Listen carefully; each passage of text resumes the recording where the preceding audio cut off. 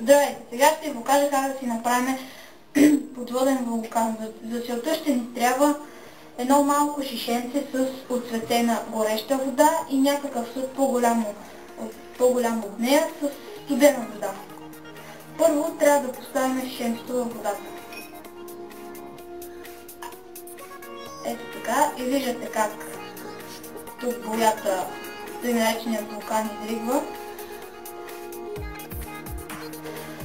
Това се получава, защото в сравнение с студената вода, горещата вода е малко по-разширена, тъй като от топлината разстоянието между молекулите става по-голямо. Затова тя лесно се издига нагоре. И след известно време светът ще вземе цялото пространство на вода.